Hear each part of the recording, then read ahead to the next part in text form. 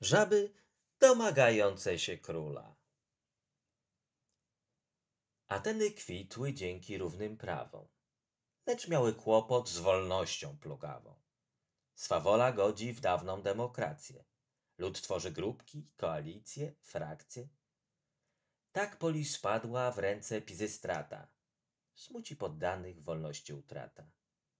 Tyran niestraszny, dba o dobro państwa, lecz nie przywykli ludzie do poddaństwa, skarżą się, płaczą. Ezop służy radą. Na bagnach żyło raz wolnych żab stado. Krzycząc, żądały, by króla narzucił im ojciec bogów i niech on ukróci żabią swawolę. Jowisz dał im kłodę, którą ze śmiechem rzucił żabą wodę. Nagłym zamętem i hukiem stworzone, choć kłoda martwa czmychają na stronę. Jedna wytknęła głowę z nad jeziora, zbadawszy króla, woła, by żab swora nic się nie bała, więc idą w zawody, kto szybciej skoczy i dosiądzie kłody. Gdy już swawoląc obsiadły wierzch cały, znów do Jowisza po króla posłały.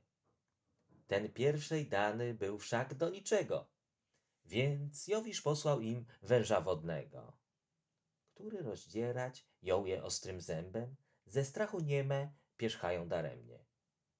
Przez Merkurego ślą prośby, jak mogą, do Jupitera, by pomógł niebogom. Skoro gardzicie dobrymi rządami, złe znieść musicie. Tak też Ezop ganił. Obywatele, obecny stan znieście, aby nie przyszły czasy gorsze jeszcze. Dwie dziurki w nosie i skończyło się. Zapraszam, subskrybujcie kanał Poczytaj mi prosie tutaj na YouTubie. Zapraszam Was także na Facebooka Poczytaj mi prosie.